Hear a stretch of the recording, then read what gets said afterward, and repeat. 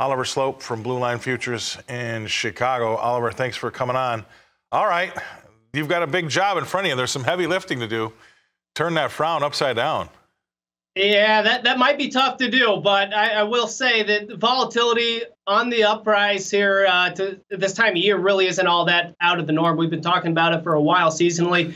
Get a volatility low in February and start to rally into March and April as that uncertainty around crops in the United States continues to grow. So I think if you were to put a positive spin on it, I'd say sure, we rejected resistance earlier in the week. We're you know selling off here the last couple of days, but there there is good technical support here, and I think there's still a lot of big question marks looming over the market that'll probably keep this thing from rolling over. For corn, looking at that July contract, 615 is the recent lows. That's going to be a big one to defend on a closing basis. On the December contract, 545 to 550 is what we're looking at. That's psychologically significant as well as technically significant.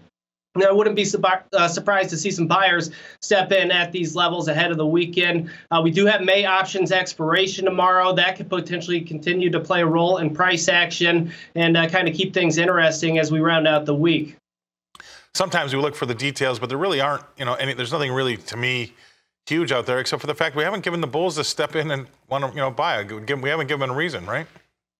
Right. We, we failed to break out above technical resistance, which was the major moving averages in the corn market earlier in the week. And so that failure, I think, probably led to some long liquidation. Now you're seeing the sellers step in. But again, I think it's one of those markets where you just kind of got to take what you can get, not read too much into a one or a two day uh, market move. That's not necessarily a trend. If you zoom out and kind of look at where the market's at, we're still mostly range bound. And I do think that there's still a lot of uncertainty around there It's going to keep uh, a lot of the large uh, managed money funds from just dashing towards the exits, right? We know yeah. that weather in the Midwest is extremely important this time of year, and we barely have any crop in the ground just yet. So uh, I, I still think there's a bull case. If we do continue to trend lower, I expect buyers to step in. I agree.